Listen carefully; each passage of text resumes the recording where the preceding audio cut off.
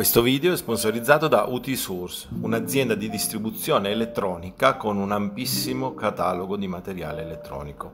Per darvi un'idea, cercando EPROM abbiamo un'infinità di modelli, anche usati per chi necessita di mantenere l'originalità dei dispositivi. Sono disponibili anche datasheet di alcuni modelli. Bella ragazzi, oh, oggi giocheremo a Fortnite su questo Lenovo Ryzen 5 Ryzen 5 Super Spacculi 330S 15 ARR Arrivo accendendolo. Il LED si accende, la batteria è carica. Non ci sono né lampeggi dello schermo né segnale video È un caso molto particolare, cioè per, sembra particolare, non riesco a vedere il lampeggio. Se fosse un lampeggio direi che è un BIOS, un problema di EPROM, ma in realtà no, non appare il, il piccolo flash. Andiamo a aprire. No, ho visto delle linee. Potrebbe essere un problema di backlight. Ok, il cliente è andato via, rivediamo un attimo. Allora, schiaccio, anzi spegniamo anche la luce. Schiaccio, Ah sì, e si vedono tutte delle righe orizzontali, tantissime righe orizzontali. Magari riesco a farvele vedere. Ok, acceso. Ora provo a spegnere. Vedete? Sì, siamo viste. Eh. Beh dai, comunque questo qua indica, indica che qualche segno di vita c'è. Dico che arriva da un altro negozio quindi però non mi stupirei che non sia stato fatto nessun tentativo controllo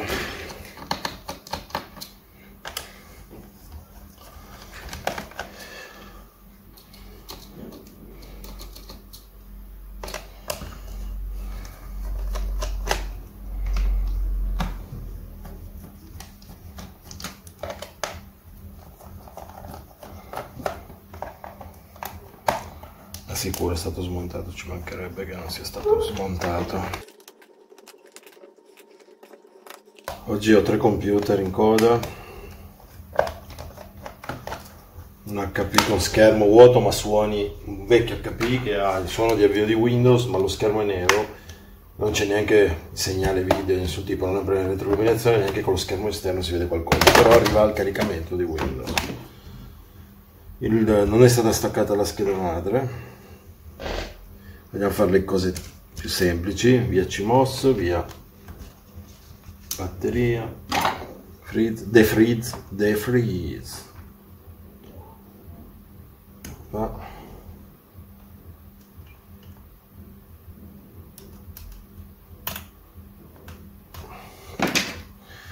vediamo se si accende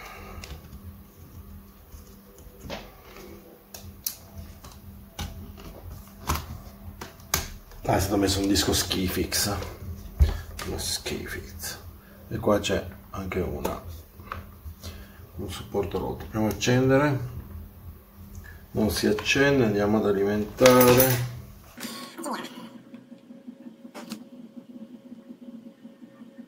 E niente, non abbiamo video lo stesso. Andiamo a fare una riflesciatura e probabilmente lei è pronta. Quindi non è relativo agli aggiornamenti firmware che invia Microsoft a Lenovo, perché questo utente usa Linux.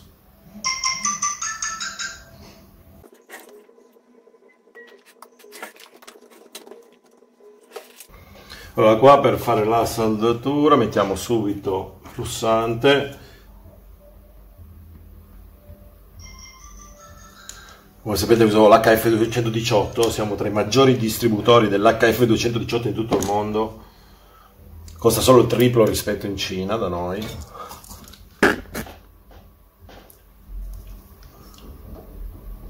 Ecco qua voglio vedere bene nei particolari. Il microscopio che sto usando è stato e noi vendiamo li prendiamo usati su ebay da negozi che hanno fallito. Siamo i maggiori distributori di questi microscopi nel mondo. Bismuto mi raccomando. Ah tra l'altro siamo i maggiori distributori di bismuto nel mondo Da noi costa solo il triplo che, nel cine- che, da AliExpress, che su AliExpress.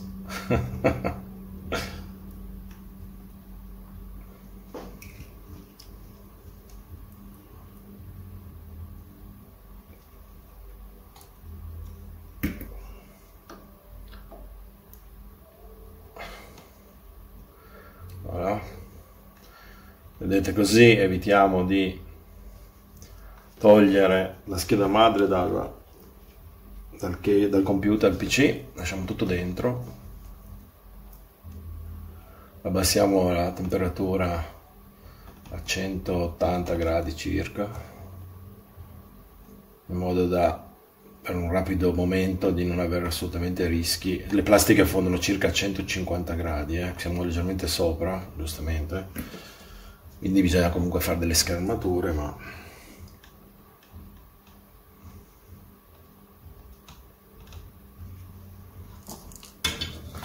nulla di, di preoccupante. Poi schermeremo le parti che si possono fondere, ovvero, ovvero poca roba. Voilà, con questo lamierino, siamo rivenditori di questi lamierini, ne vendiamo in tutto il mondo, siamo i maggiori rivenditori di lamierini. Acquistateli, spediamo lo stesso giorno.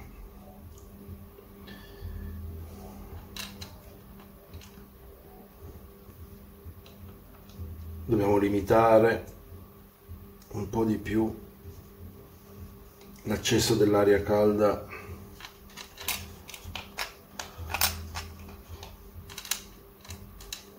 alla batteria. C'è ancora un buco che va sul retro della piastra della scheda madre e comunque non voglio correre neanche il rischio per quel piccolo buco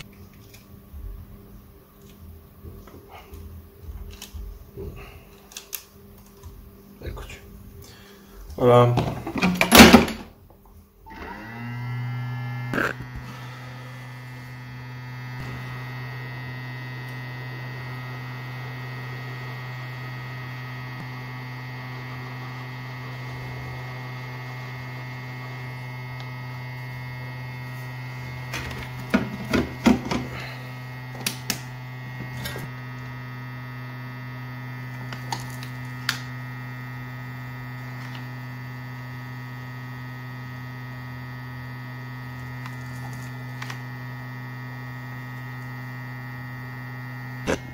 Perché sto facendo il BIOS? Perché è la cosa meno, per modo di dire, intrusiva e più collaudata che si può fare per escludere tutta la parte software del problema.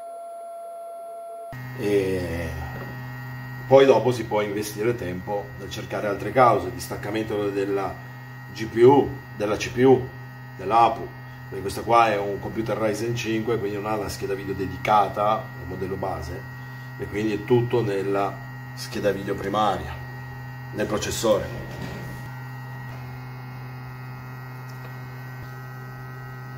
(25Q64 FV) e conseguente scrittura.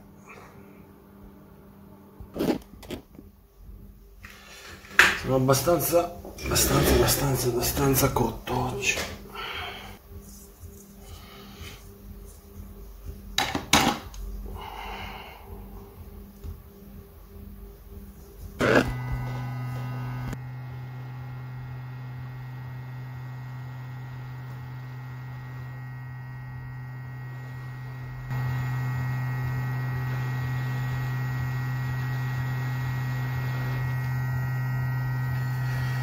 È un granché come posizione.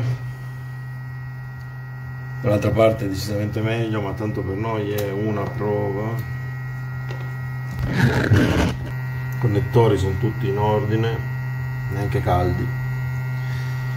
Non rimane che far raffreddare un po' e accendere il PC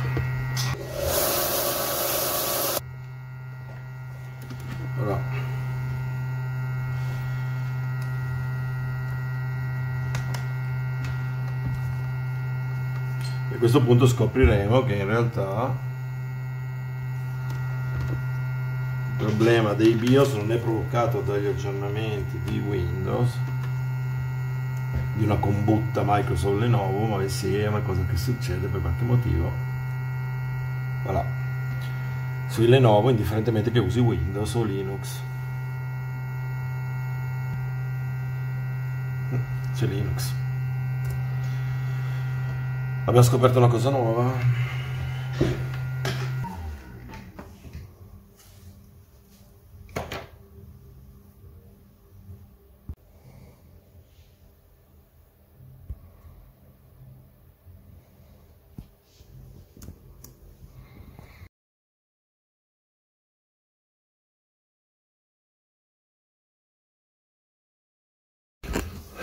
volo un altro questo qua è un HP Stream roba vecchissima che non vale poco però ci sono i dati dentro questa è una memoria MC 64 giga saldata me l'hanno appena portato serve per la scuola ah, vi faccio vedere anche cosa fa la batteria si carica perché mi ha detto che da rosso è diventato bianco quindi l'alimentazione va a occhio e croce la cerniera di sinistra è, è andata e sta chiuso per quello, per le viti, se schiaccio l'accensione,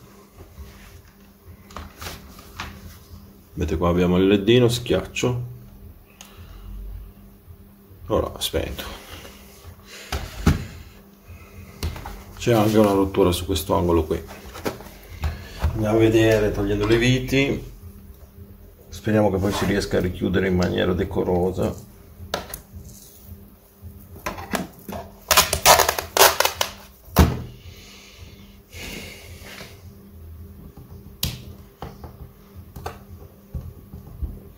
Questi HP Stream ne ho regalato uno alla mia ragazza anni fa. Colore azzurro metallizzato.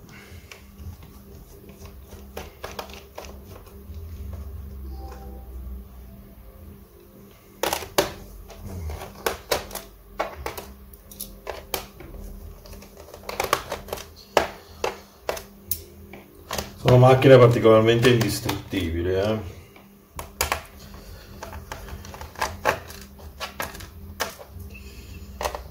Perché la scheda madre è ridotta all'osso tutto saldato. La scheda è piccola quindi la flessione non è, non è così catastrofica. Ora vedremo la famosa cerniera.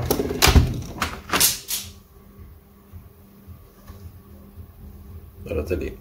No cerniera vi faccio vedere sullo schermo, guardate sullo schermo qua nell'angolino, eh, guardate, apro, vedete? Si sta separando. Mamma mia. Usare per la scuola questa unità, mi sa che gli rimarrà in mano lo schermo a breve, a parte la mancanza dei tasti, perché... Chissà che mai agli studenti succede spesso di perdere i tasti.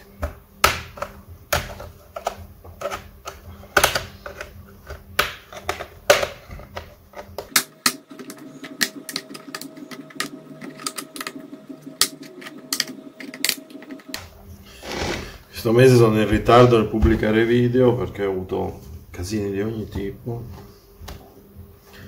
E Negozio c'è un bordello disumano.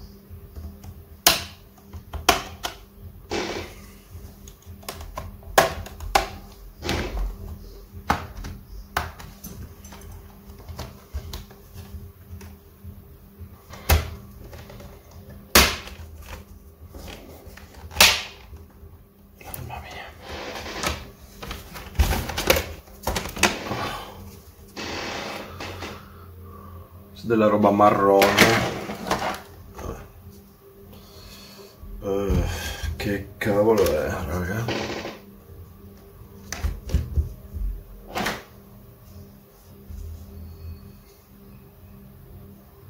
Ma che roba è?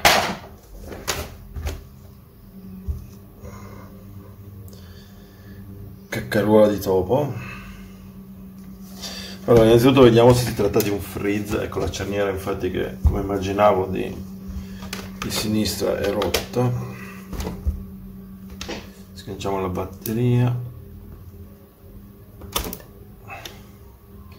Batteria CMOS non è presente. Andiamo a riplagarla. Anzi andiamo a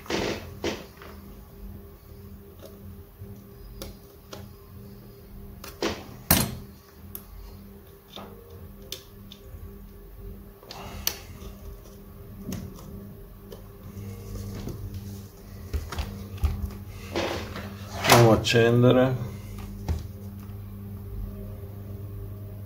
e sta acceso quindi probabilmente partirà è solo un frizz. Vediamo un po'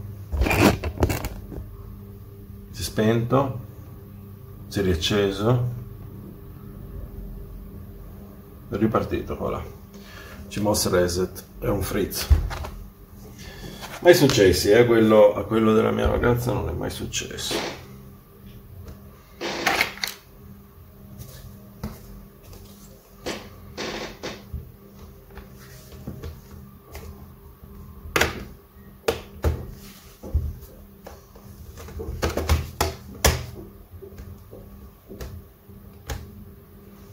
pensando se fissare un attimo questa cerniera col saldatore un poco.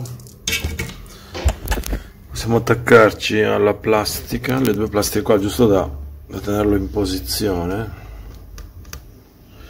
Fondere le due plastiche che lo tengono e quella sopra.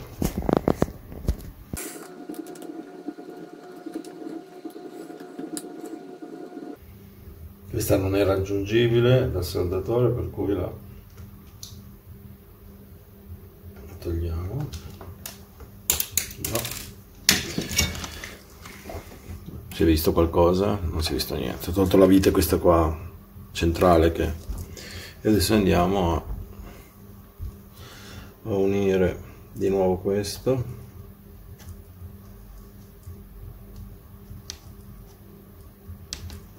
schiacciamo questo che faccia attrito schiacciamo questo.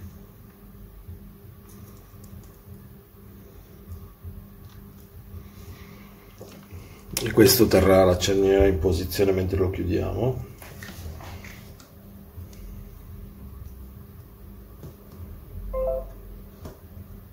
E poi metteremo della colla termica questo è solo una, un, un, intervento gratuito che sto facendo, eh? perché in realtà bisogna smontare tutto lo schermo e sbloccare i dadi.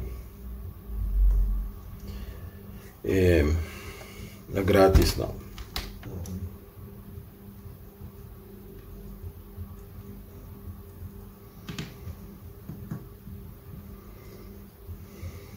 Tanto si sta aprendo anche dal lato dello schermo, quindi sarà una riparazione provvisoria. Andiamo a mettere con la termica in questa cerniera questa da questo lato stesso discorso.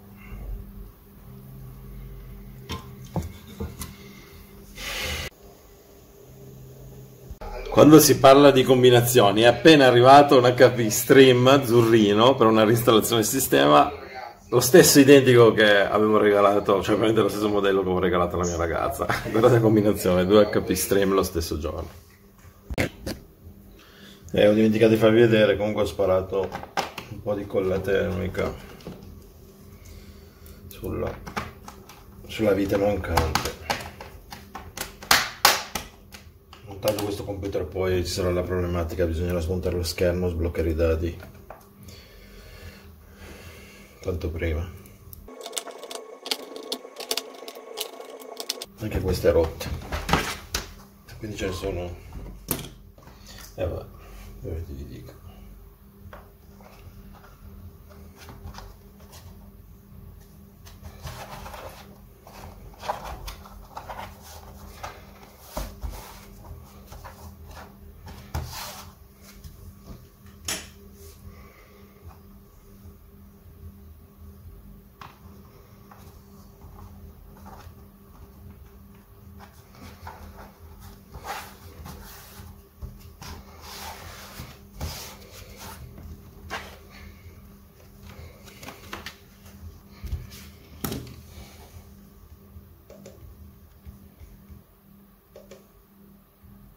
Steam, eh Steam. Ma vaffanculo.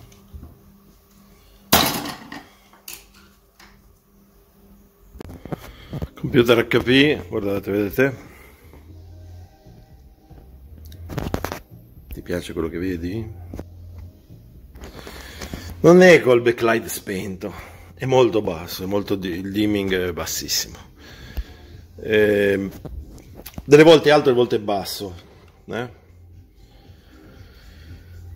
Non dipende dalla regolazione, questa è la massima. Alcune volte è accettabile, cambia.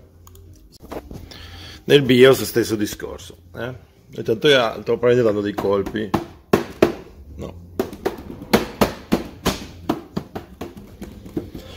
Andiamo a smontare, vediamo il segnale del backlight che, che tensione è, vedere se è il problema della scheda madre alimentare il pannello, ma secondo me è colpa del pannello.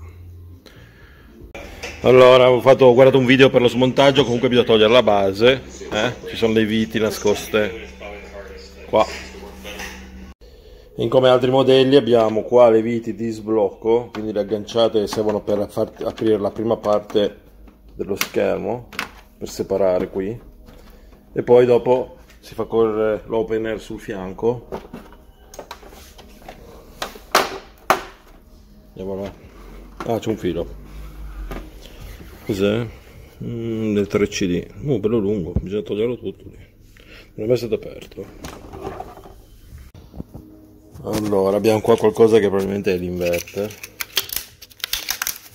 Sì.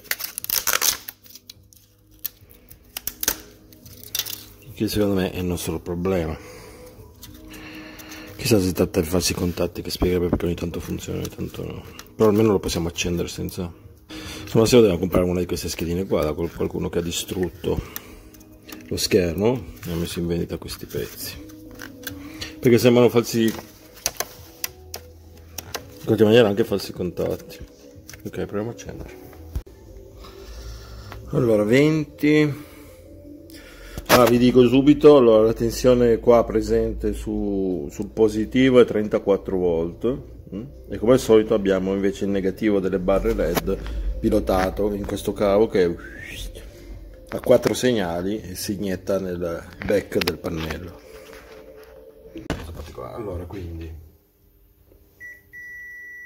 ok, poi il nero, quindi No, l'altro è marrone o rosso e combacia con questo. No. Gioca cioè, bene perché tante volte no. Non prende. I tre. E cosa serve avere sul connettore? Anche che particellare. Probabilmente l'inverter era in grado di dare... Corrente. No, delle tensioni diverse alle barre. Mentre invece quel pannello lì ne monta solo... Quindi abbiamo come colori e questi potrebbero essere standardizzati come colori, eh? quindi potrebbe esserci il nero e il rosso come positivo, cioè l'alimentazione, il giallo, questo qua, praticamente il primo pin, che è questo qui, che è questo, è unito a questo e a questo, dal cavo, stranissimo. E qua no, assolutamente. E tutti gialli. Ma quindi quella massa lì sarà un comune di massa per qualcosa? Non è che lui può gestire più pannelli. E poi c'è il nero, eh, e poi c'è il nero che invece è il positivo. Non è una massa, è mica tedesco di fa. Nel senso che lui ha bisogno di... Che questo, e poi c'è il marrone che è subito quello a fianco. Allora sappiamo che questo qua, qua c'è 5 volte e non viene usato. Qua c'è il 34, qua non c'è niente. Qui mi pare ci sia 1,7 e qua forse 3,3. Quindi sul marrone c'è 3,3 e qua 1,7. Il che mi fa pensare che questo qua sia il DIM, che unendo assieme questi due qua si porta il 3,3 volt. Su questo si aumenta la tensione, però non è detto. Il limitatore da 30 volt massimi. Si aumentando leggermente la tensione, quindi 34-35 volt che sono presenti qua se possiamo aumentare un po' la tensione per, per vedere se aumenta la luminosità.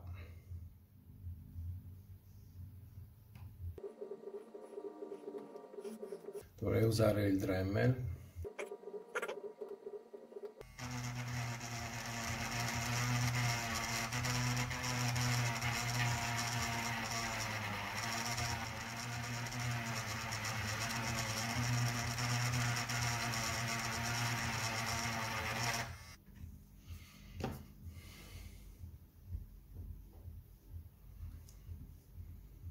Mi chiedo Sorin come fa a tagliare ste cavolo di...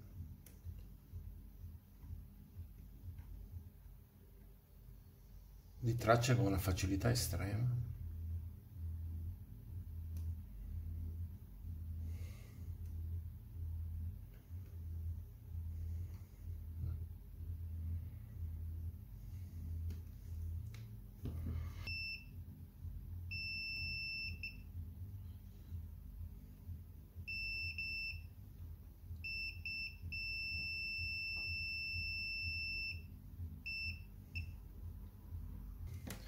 Quindi qua andremo a attaccare l'alimentazione finale di un cavo. Mm, vediamo un po'